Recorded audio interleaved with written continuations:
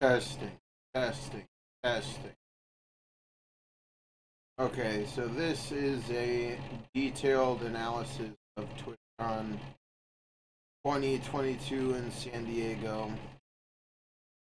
On day one, we got an Uber and chatted with the Uber driver about attending TwitchCon, the new general area of TwitchCon, but did not know the event or what was happening at the event. We arrived at the convention on day one at approximately 10:15 to 10:20 a.m. on a Thursday. No, it was the day before. It was Thursday. Thursday. And we were there to search for the COVID uh, requirements. And we looked around for a bit, asked around, and we bumped into this woman who had the uh, the vaccine uh, wristbands. And she said, "Show me your ID and show me the vaccine card." And having the two vaccines only worked for that time, so it was successful. And we got our wristband, and the queue, the queue for TwitchCon seemed uh, a bit excessive for what was there. Like the assumption, observation was it was going to be for way more people than actually attended and it, and its design seemed very senior citizen, like not friendly at all. Very hard. That was observation two, and we made our way into the con. And I was actively searching for uh, the Twitch streamer that I was there for on day one, Dino Dare and Anubis. I searched the hall for approximately 42 minutes and I did not find them. Decided to check their Twitter. Their Twitter did not have any indication of where they were at the con.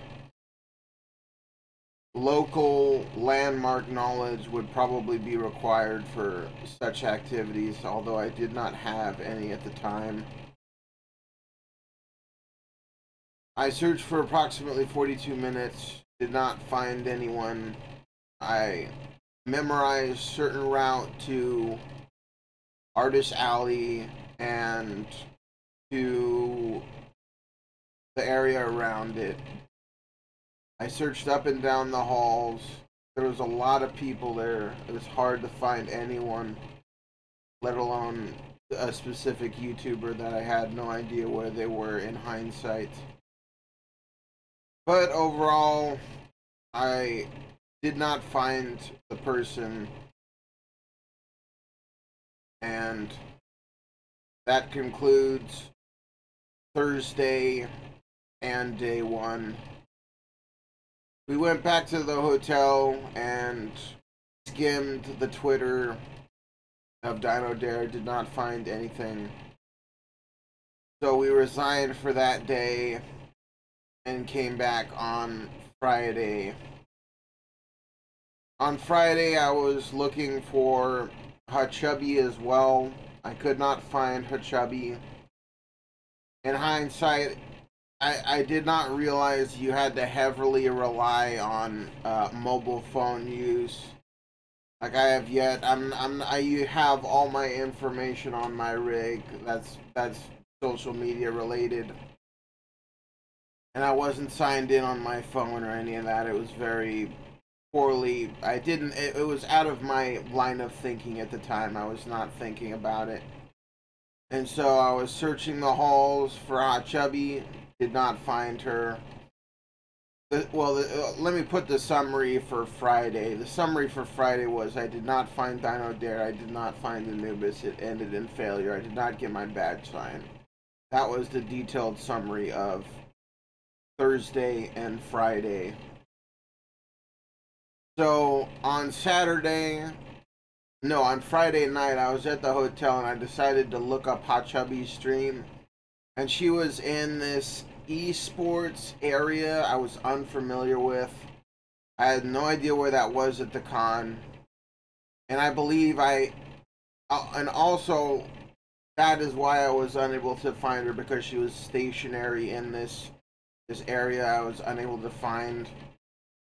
And then on Saturday, got up at around 8 in the morning, got ready, and then went down to the to the, to the hotel uh, coffee shop, got a cold brew coffee. It was eight dollars. Eight dollars is quite expensive for a coffee. Like the cold brew I get in my hometown is like five or six bucks for a gallon's worth. Doesn't make sense. And so I get the cold brew and I also get the the cinnamon roll. The cinnamon roll was uh, like the two dollar kind you find at a grocery store that's mass produced. Uh, there was nothing very spe special about it. It did not need to cost six bucks. Two dollar cinnamon roll. I, I don't know why things are so expensive in San Diego. It, it, that one left me completely baffled. But anyway, I drink my coffee, eat the cinnamon roll, and then decide to call an Uber. Uber shows up. I ask them about the con. They do not know anything about the con. But, but they do have general area location, which was interesting. And then we go to the con. I search for Hachubby on Saturday. Because after day one, Dino Dare and Anubis had left, and I had no idea where they were, and I, I gave up the chase on that specific day. And then on Saturday, I went to search for Hachubby, and I, I saw her stream. She was at like this park area with a huge arch. I assumed it was located in the convention center somewhere, but I was completely unsure. I asked a security guard at exhibition site D exit. I said, Do you know where this is? Can you help me? And he says, Maybe the information kiosk can help you with this. And so I go over to the information kiosk, I show them the stream, and they're like, That might be ex Exhibit B and I was like, "Do you know where that is?" And she just pointed me to the general direction, which was overall unhelpful. I did not understand that. So I went to Exhibition B area, which was the Artist Alley. I patrolled through the area that I memorized on how to get there. It was it was one specific route. And then I went outside and I observed a cabana area that had like VIP access. It was called something cabana. I assumed it was a VIP restricted area and I could not go down there. So I called off the search in that area and then I went back around the other side. I went up the huge stairs and at the top of the huge stairs there's nothing up there. It's kind of like an observation area. There's no park up there. And then I went back to the information kiosk again to search for Chubby Stream and they were like, I'm sorry, I don't know where this is. Back to not knowing anything about the, the convention. Then I went to Artist Alley Exit B site and I asked the security guard if he knew where this park area was. He said he didn't know. So I don't know. And then I saw a staff member. I asked them, Can you take me to this location? Do you know where this person is? And I said I'd give him 20 bucks if he can escort me there. He said he couldn't move. He insisted and apologized. So that ended in failure. Then I, I went back outside the convention to search for a bit. And I tripped and fucked up my shin and decided my my energy levels and my patience was at its limit. Like I was on the verge of punching somebody. I was super pissed off. So I decided to call off the search and go back to the hotel. And so I just stewed for a bit, unable to find Chubby. and then I I looked at her stream and she was in the convention, but by that time going through the the main entrance through all the queues was like a, a major pain in the ass. I did not want to do that. I did not have the energy for that, and in turn, I I gave up the search for Hachubby at that point. I was out of energy. My mental focus was gone. And so I called it quits and returned to the hotel and and had some seltzer water at the bar with some oranges in it. That was really good. That was delicious. It quenched my thirst. It was overall delicious. And then I got the Asian club salad. And no, what was it? It was like an Asian salad with tomatoes. It was really good, really delicious. And then I went back to my room and I was unable to find Chubby. I was unable to find Dino Dare or Anubis.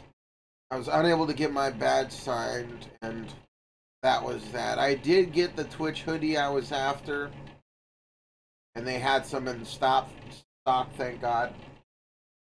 But the end summary for TwitchCon was that Twitch seems to have mastered the ability to be as messy and uncoordinated as possible to a point where you didn't think it was physically possible, but it was. But I was working with minimal information, minimal resources to find where these people were. So overall, I couldn't do much with what I had. I just had to take estimated guesses to figure out where they were, and I was unable to.